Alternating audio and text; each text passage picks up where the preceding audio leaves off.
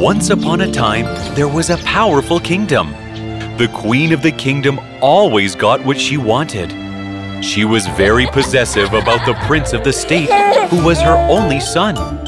She nurtured the prince with the best of everything the finest suits, gourmet food, best of the teachers to educate, and much more. As the prince grew young and it was time for him to get married, the queen called him to her room.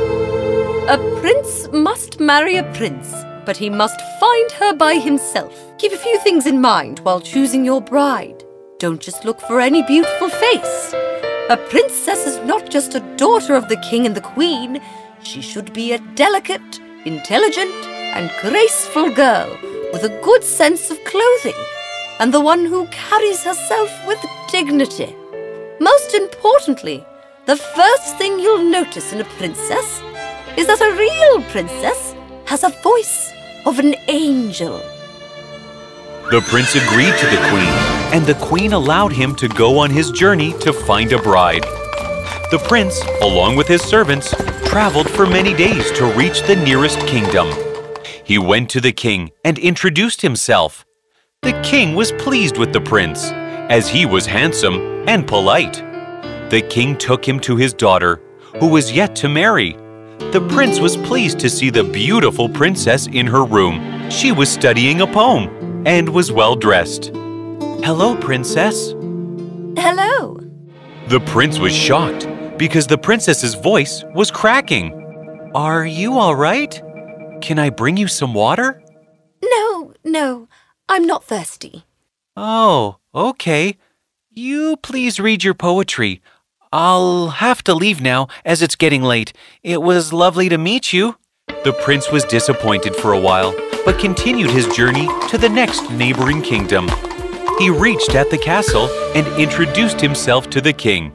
The king and the queen were so pleased with the prince's charm that they immediately invited him to meet the princess. The prince went to the princess's room.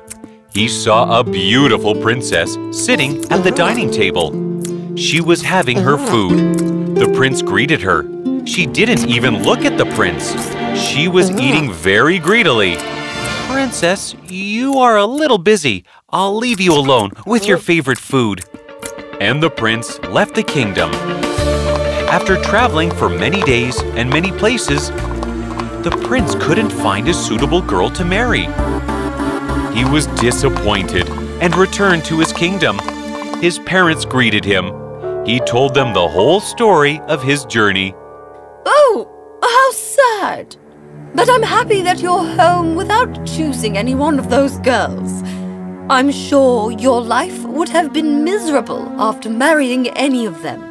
The prince agreed to the queen and returned to his room. There was a thunderstorm that night. Prince was watching it from the window of his room. He saw somebody coming to their castle. There was a knock on the door. The servant opened the door. There was a beautiful girl standing outside. She was dressed in a heavy cloak and completely wet due to rain. The prince walked down as he heard a sweet voice of the girl. My driver got lost in the rain. I, I followed the light in your castle. Would you be kind enough to provide us with shelter for the night? Of course. You're welcome to stay. Allow me to take your coat. Prince welcomed her in the castle. As the prince took her overcoat, he thought she was the most beautiful girl he had ever seen. He asked his servants to look after the girl and ran to the queen to inform her. The queen walked with him to the girl. The queen disliked her at first glance. She is not a princess, son. Look at her muddy, dirty dress. She has no servants with her. And why would a princess travel in such heavy rains?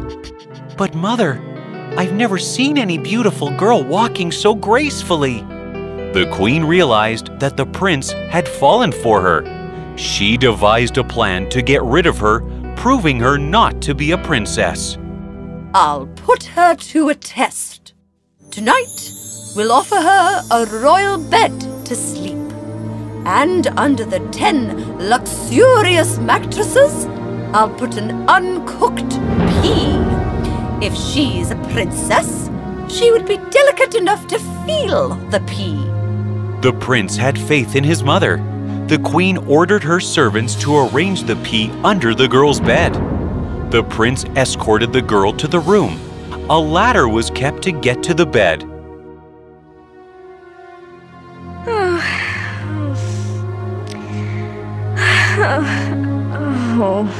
The girl woke up in the morning and called a servant. I'm very restless. Please don't tell this to the prince, but it's an awful bed. It felt like there's a brick inside it. I couldn't sleep the entire night. The prince came to know about the girl's complaint. He rushed to her. You're a true princess, aren't you? Please marry me. I'll marry you as long as I don't have to sleep on this bed again.